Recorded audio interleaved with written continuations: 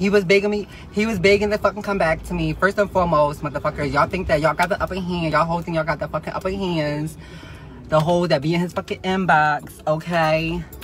I don't want him. Y'all can have him. He over here begging for me, bitch. He over here begging, begging for me. But you can have him. You can have him back.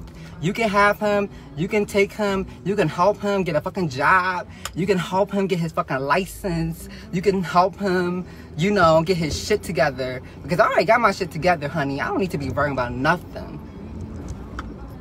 Now y'all done fucking pissed me the fuck off. He done pissed, pissed me the fuck off. See, I didn't speak on that though. I didn't speak on a lot of things, okay? He caused me a lot of fucking drama in that fucking building. And one that was with another fucking tranny, okay? That he was fucking texting, okay? Which he was, shouldn't be fucking doing in the fucking first place. So I have every fucking right to be fucking pissed the fuck off and be mad. Because now I have to re-botch my fucking back. And I have to worry about whether I should be fucking fighting this bitch or not.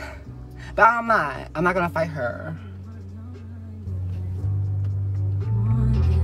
Okay? So y'all want him, take him. Cause I don't want him. He's nasty, he's dirty, he's weird. Okay? He's a booty bandit. Yeah, bitches are fucking weird. I'm not. I'm not gonna be. I'm not even arguing with this other one with no face. I'm just speaking my mind. You know, he's part of the same fucking bitch that be on his fucking inbox. So make a fucking whole page and block and make a whole page because she part because probably one of them hoes that I blocked. Okay, I don't know who it is. Maybe it's fucking Lindsay Esterman because that bitch still be trying to stalk me.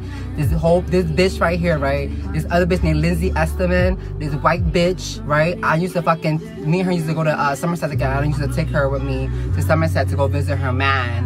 When he came home, he left her. Okay, and like all of a sudden, this thirsty ass bitch, you know, uh, um, got into my my husband inbox trying to try to suck his dick too okay, disrespecting me, and his dumb ass disrespecting me by entertaining that shit, okay? So this is this is why I do what the fuck I do, okay? This is why I, am fucking petty like that, okay? This is why I be posting shit and, put his ass out there, cause he try be he still be trying to disrespect me, okay?